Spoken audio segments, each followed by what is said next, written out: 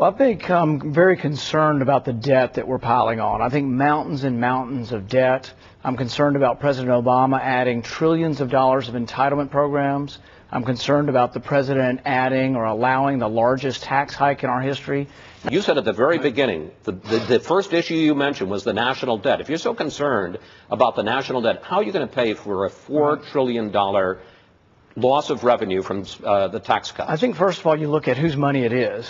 It's the people's money who earned the money, and we give up some to pay taxes. So I'm not seeing and seeing it as a cost to government.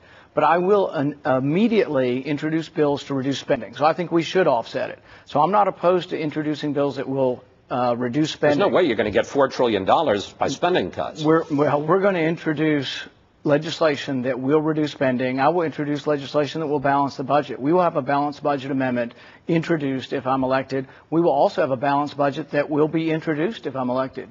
But what I would say about the Bush tax cuts is, is that businesses have made calculations on these for five or ten years. Business needs predictability.